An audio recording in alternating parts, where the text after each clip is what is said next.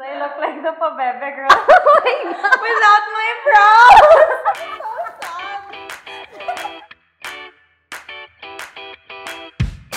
Easy to blend.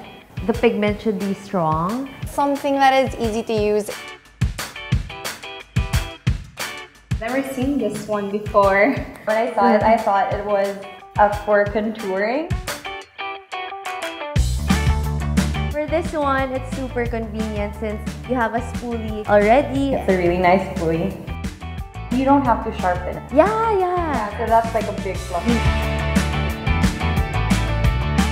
But her brows are nice already. Oh my god, sorry. So first, Hala.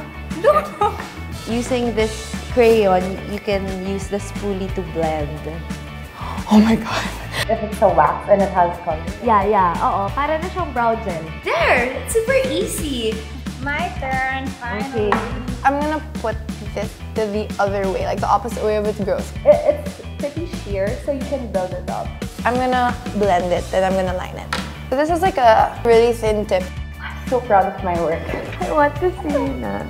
Okay, look at me.